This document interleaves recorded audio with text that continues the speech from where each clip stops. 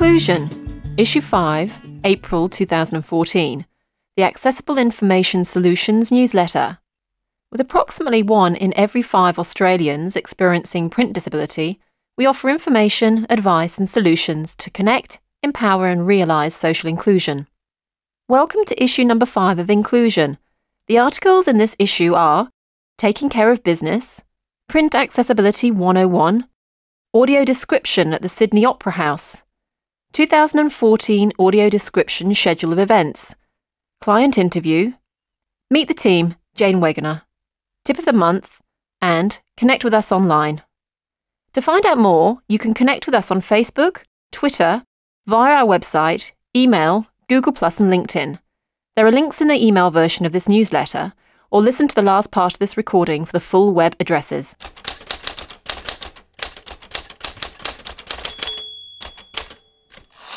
Taking care of business. There are a thousand small things we take for granted every day when networking in a sighted world. Reading brochures and advertising materials, seeing name tags, or being handed a business card. These seemingly small things can add up for somebody who cannot read standard print with ease. Every year, Vision Australia works with organisations and government departments across Australia to produce accessible business cards, particularly those featuring Braille. Not only does this improve accessibility of the business card for people who are blind, but it also sends a strong message about an organisation's commitment to inclusion. Braille business cards are in particular demand for people who regularly deal with clients who are blind or have low vision, such as disability organisations, non profits, healthcare providers, educational institutions, local councils, and all other areas and levels of government. Most recently, we produced Braille business cards for the Honourable Bill Shorten MP. Vision Australia also encourages printers and graphic designers to use large print on business cards. Often this can be done using just the vital information, such as the person's name and the primary contact number, on the reverse side of the card, meaning that your branding and corporate style on the face of the card does not have to be affected. Similarly, applying Braille over the print does not affect the readability. While only a small percentage of the 3.6 million Australians who have a print disability are Braille readers, Braille is an instantly recognisable symbol of access and inclusion. Including Braille on your business card makes a clear statement to anyone you hand it to, and it's those first impressions that count. For further information or to download an order form, visit www.visionaustralia.org slash business dash and dash professionals slash print dash accessibility dash services slash braille dash business dash cards. You can also check out the video on our YouTube channel www.youtube.com slash watch question mark v equals r capital Q I S F 8 BH dash capital X capital M or search Vision Australia Print Access on YouTube to locate our YouTube channel.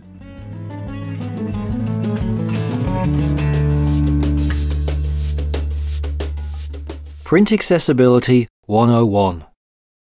Inclusion is a newsletter that focuses on print accessibility.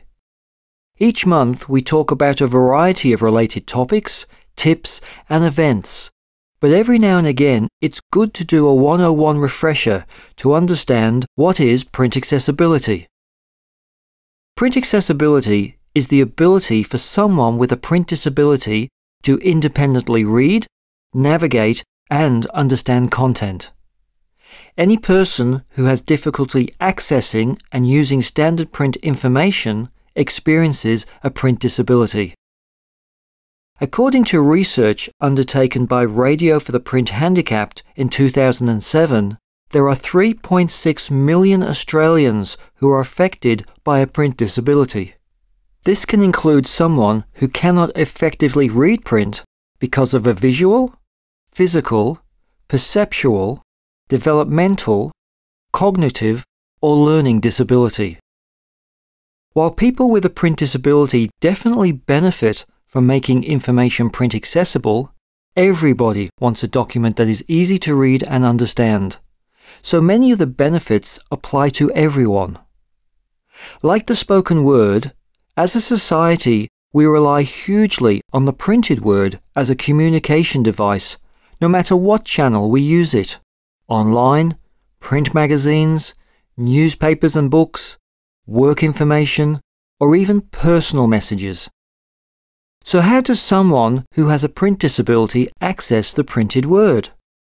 Well, this is where print accessibility and having correctly structured content comes in.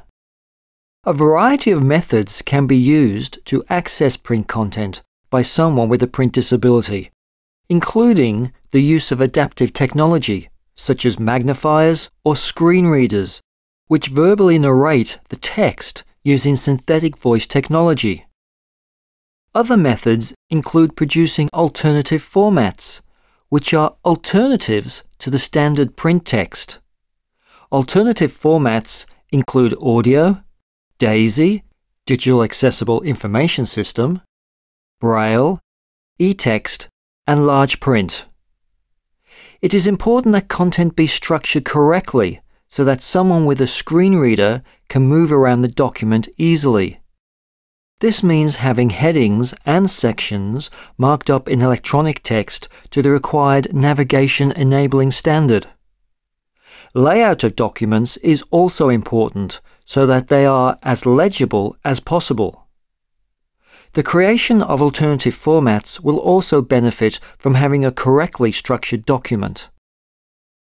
We have only touched on the world of print accessibility here, so if you would like to find out more, have a chat to Charlotte Gorham on 03 9864 9552 or email any questions to charlotte.gorham, that's C H A R L O T T E dot G O R H A M at visionaustralia.org.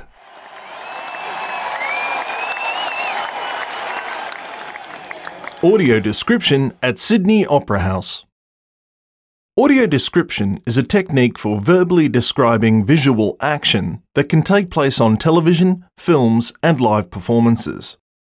During gaps in dialogue, an audio describer outlines visual elements such as movement, settings, action scenes, and costumes. Audio description is particularly beneficial to people who are blind or are vision impaired and people with print, learning, and physical disabilities. Accessible Information Solutions at Vision Australia provides an audio description service through which live theatre events and shows are described by trained and experienced audio describers. Now, in an exciting development, staff at Sydney Opera House are also learning how to provide audio description. In a partnership between Sydney Opera House and Vision Australia, Accessible Information Solutions are training Sydney Opera House staff in the techniques of audio description to assist in their in house education programs, tours, and special events. Midweek shows are offered as part of their education programs to children in schools. This includes school children who are blind or have low vision. An extensive training program has been put in place, including an audition process to recruit the best internal talent. A structured mentoring program will also make sure new skills are correctly applied. After the training course has been completed, an assessment will take place with a panel consisting of audio description experts as well as users of the service. This will ensure the service meets the required standard and has the user firmly as its focus. It's great that Sydney Opera House are expanding the accessibility of their shows, and in turn, the ability for a diverse Australian community to access and enjoy a rich showcase of culture. 2014 Audio Description Schedule of Events. The 2014 Audio Description Schedule of Events is the annual calendar of live events such as theatre and opera that are audio described. Vision Australia produces this schedule every year to identify which events and performances are enriched with audio description. If you know someone who is blind or visually impaired who would like a copy of the schedule, please contact Michael Ward at michael.ward, That's M I C H A E L dot W A R D at visionaustralia.org. The schedule is available in DAISY compact disc and e-text, which can also be accessed from Vision Australia's website at www.visionaustralia.org and then search for 2014 Audio Description National Schedule. I'm joined in the studio today by Bernadette Jolly, or Bernie as she's affectionately known by us. Bernie actually works at Vision Australia and she's also a client here. Hi, Bernie. Hi there. Thanks for taking the time to chat to us. You're welcome. Now, we were chatting earlier about issues around accessing information. And as someone who is blind, can you tell us a little more about how you access information and the kind of formats that you use? Okay, Charlotte. Well, I'm totally blind and um, I'm lucky enough to be a Braille reader. So, um, Braille is um, one of the mediums that I use. I use audio to get information, for example, um, stuff that's recorded on CDs. I use radio, I use TV, I use the internet. I think you could say I'll use anything uh, that I can avail myself from if I'm after information. Fantastic. And is there any formats that you particularly use that are of value to you? Um, yeah, it's difficult to say which one would be of most value because they all have their place. For example, if I'm using a recipe book or a knitting pattern, Braille is the best thing then. And for football fixtures and cricket fixtures, Braille is the best. Yeah. Um, for reading books, I often use audio because it's portable. I can have it on a, a, small player and just take it with me, or I can read a book off my iPhone. So it really depends on what the situation is and what, what I'm wanting the material for. And what about the information you have problems accessing, and how does that impact you? Um, some of the times when I've had um, issues is with um, restaurant menus, particularly takeaway menus, because they get delivered into the letterbox and I can't read them. And I'd often like to avail myself of a takeaway meal. However, sometimes now those places will put their menus onto the internet so that for those of us that can use that, that's really good. Um, I find it annoying when there's uh, newsletters that come into the mailbox from local government, from your local member, just letting you know what they've been doing. Well, you know, it's no good to me like that. I can't read it, and they're not really, I, I haven't come across them on the internet either. But then, of course, many people don't use the internet. So those sort of newsletters and things really need to be made available to everybody, probably in audio as well as in other ways. Mm, sure. I, I found too that sometimes it's been difficult to get information about particular drugs that we might use, like um, prescribed drugs. Yes. So those those kind of things are quite important. There's a whole raft of us out there that, for various reasons, are have a print disability, and we can't access information that is very important, and that all of our colleagues and so forth are accessing. Yes, absolutely, absolutely. Mm. Um, from what I'm hearing you saying as well is that you know we do have uh, we live in an age where a lot's being a lot is being driven online, and that it's really important that um, those who don't have access to that can still get access to the information in ways that they can. Yeah, I think that's really true, Charlotte, because there's a lot of people out there that have vision impairment in the older age group that haven't grasped the internet at this stage in years to come, it, it won't be an issue because those of us that are um, haven't quite reached that age yet.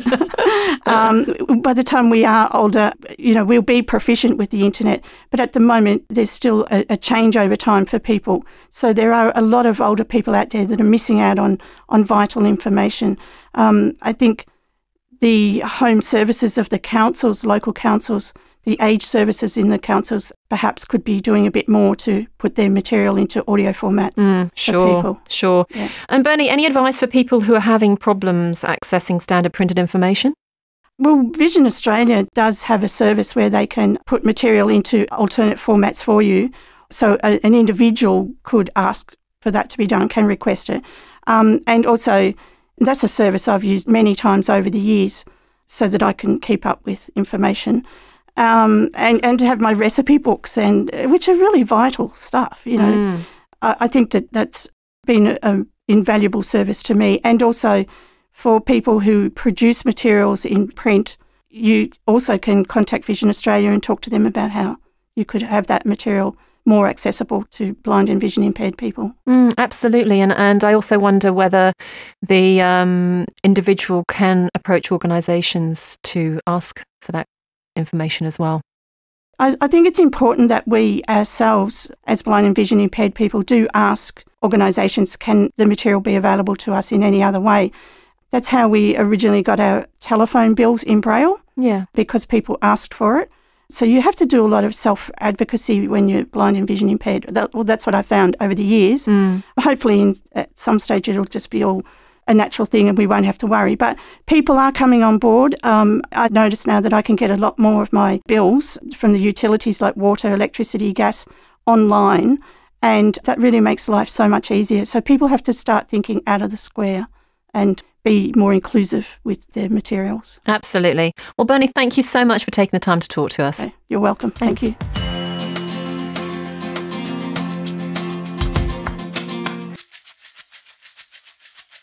Meet the team, Jane Wegener. Hi, I'm Jane Wegener. I'm the Operations Coordinator for the Accessible Information Solutions production team based in Enfield, New South Wales. My role is to oversee the production of alternate format material, such as braille and large print, for people who are blind or have low vision. Our team produces many types of print material for our clients, ensuring that they have timely access to important information such as their utility bills, council information, bank statements, educational material, recipe books, restaurant menus, and even the footy calendar. In my job, I often get to chat with our clients, and I love to hear about how their lives have been improved because they can access the print material that they need. Our clients do some amazing things, and I am proud to be part of a team that has helped them achieve their goals, such as graduating from university, passing an exam, reading a book to their grandchild, learning the piano, or knitting a jumper. I also enjoy working with a team of talented and dedicated transcribers and customer service staff who also love what they do. When I'm not working, I'm a taxi driver for two busy kids, enjoy a game of tennis, and spending my weekends in my garden. Tip of the month. Many organisations don't know where to begin when it comes to accessible formats. Few have the resources to produce multiple formats in house. Most aren't even sure what accessible or alternate formats are or why they're needed. For some straightforward information on accessible formats and the production services that Vision Australia can provide, request a copy of our Accessible Information Solutions General Information PDF. Contact Charlotte Gorham on 03 9864 9552 or email charlotte.gorham at visionaustralia.org. That's charlotte.gorham at visionaustralia.org. And for general information and the latest news, connect with us online. For Facebook, go to facebook.com forward slash Vision Australia Print Access. Twitter, go to twitter.com forward slash VA Print Access. Our website, go to www.visionaustralia.org forward slash business dash and dash professionals forward slash print dash accessibility dash services. Email printaccess at visionaustralia.org. Google Plus, go to plus.google.com and search for VA Print Access. And LinkedIn, go to linkedin.com forward slash company forward slash 388547. Thanks for listening to Edition 5 of Inclusion. Inclusion is copyright 2014 to Vision Australia, all rights reserved. You can update your subscription preferences or unsubscribe from this list by emailing printaccess at visionaustralia.org. This edition was recorded in March 2014 by Accessible Information Solutions of Vision Australia. Your narrators were Deborah Pearce, Carl Hughes, Angus Spence. Jane Wegener. and Charlotte Gorham. Stay tuned for Edition 6.